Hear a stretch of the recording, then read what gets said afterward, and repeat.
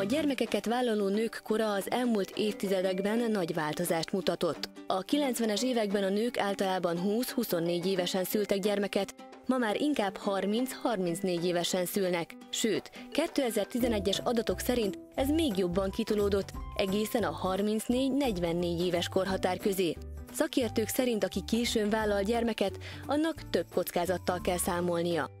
Hát a fiatalabb korban történő bevallás sokkal, sokkal kockázat, kockázatmentesebb, mint az idősebb korban történt vállalás, mivel fiatalabbak vagyunk, egészségesebbek vagyunk, e, e, életerősebbek vagyunk, minél idősebben vállalunk e, kisbabát, annál több az esély a mindenféle betegség kialakulásra, cukorbetegségre, mozati fejlődési rendelességre gyakorabban alakulnak ki a híres nagy Dankor, Edwards, Patau, ezek a nagy kromoszoma-rendellenességek, amik, amik mind-mind hát a, a várandóság során akadályozó tényezők lehetnek, vagy akár a sima szülésnél, vagy több a császármetszés, sokkal komplikáltabb a teresség a várandóságnak a kiviselése. Tehát ilyen szempontból is fontos, hogy ezeket figyelembe vegyük.